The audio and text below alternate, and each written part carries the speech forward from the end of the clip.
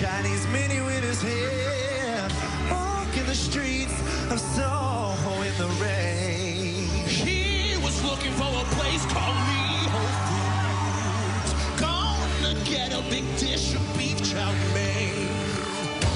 Now you may have heard proud around your kitchen